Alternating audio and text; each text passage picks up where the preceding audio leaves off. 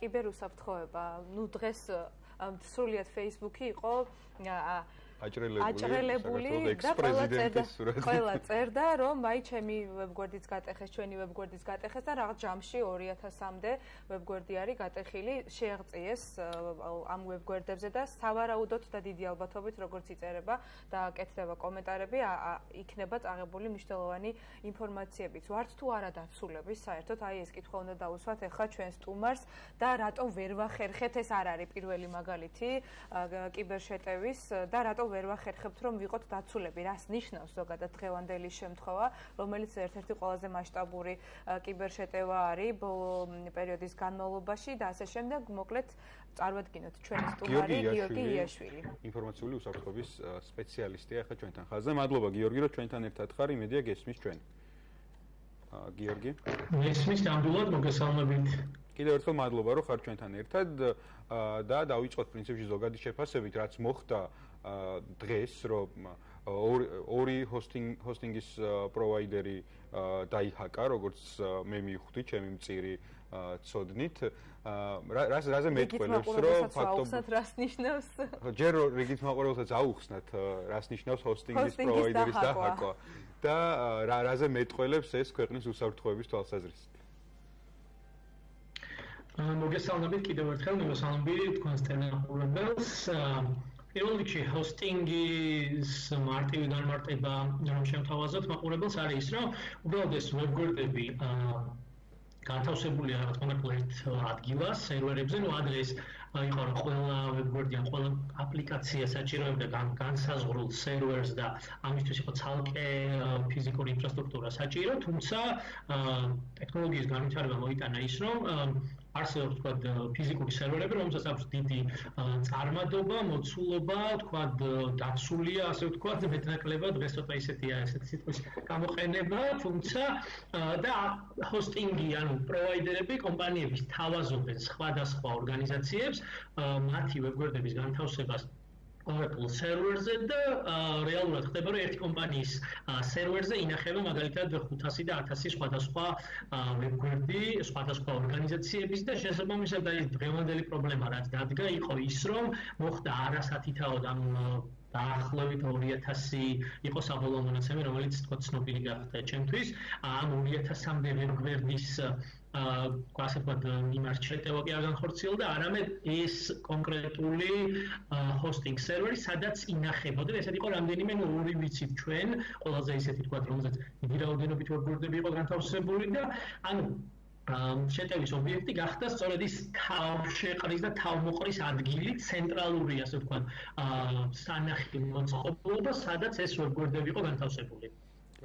და ჩვენ საუბრობდით დღეს იმაზე, რომ აი სათითაო როგორც შეიძლება ეს სათითაოდ კი არ გაუტეხავს ვიღაცას ბათუმის მერიის და საკრებულოს გვერდები, არამედ რაღაც სხვა დონის გაცილებით ერთ მასირებული შეტევა იყო შეიძლება ითქვას. რამდენად ზადა საქართველოს იმის რო კიბერუსაფრთხოების პრობლემები მოაგვაროს ეს ერთ-ერთი მაჩვენებელი ალბათ იმის, რომ არც სერიოზულად უდგებიან ქართული კომპანიები და ქართული სახელმწიფო კიბერუსაფრთხოების საკითხს. აქვე მალხაზის კითხვას მივავამ, თუ შეიძლება და ბარემ რო გითხრათ, აი ჩვენ თქვენ საუბრობდით მასშტაბზე, ხო?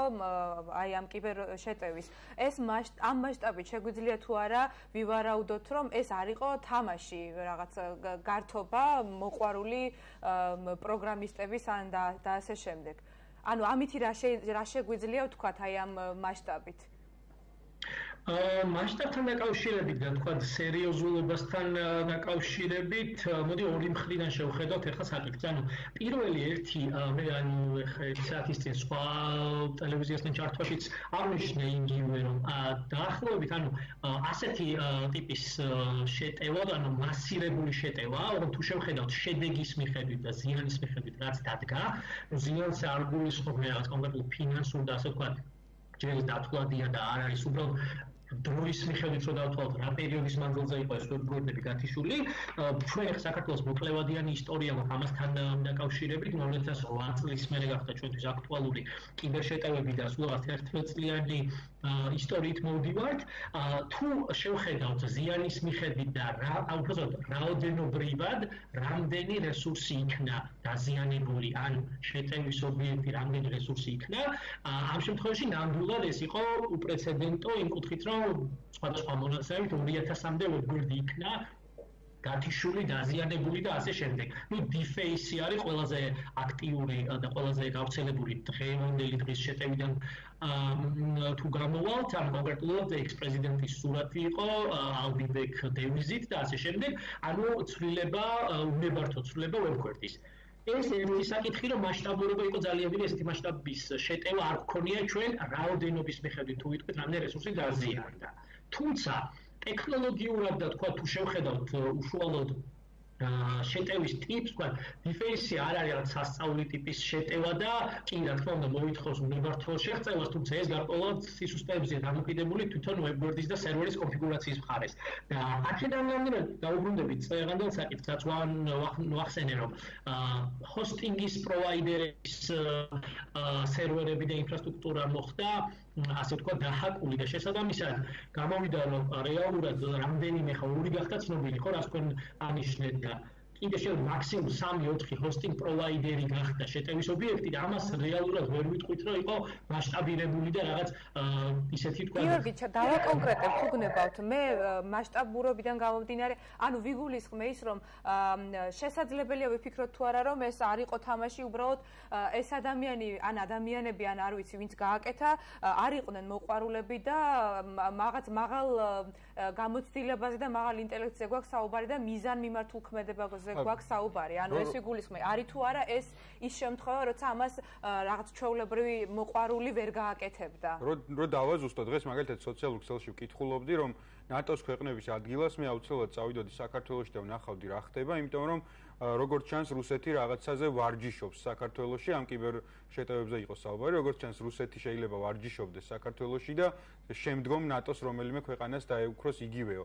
რამდენად არის რეალობასთან ახლოს მსგავსი ან მნიშვნელოვანი არის იმიტომ რომ თუ რიგით მოყარულებს შეუძლიათ ესეთი ზიანი მიაყენონ ჩვენს უსაფრთხოებას მაშინ საერთოდ რაღაცზე ვლაპარაკობ და გამოდის რომ საერთოდ არ ვართ დაცულები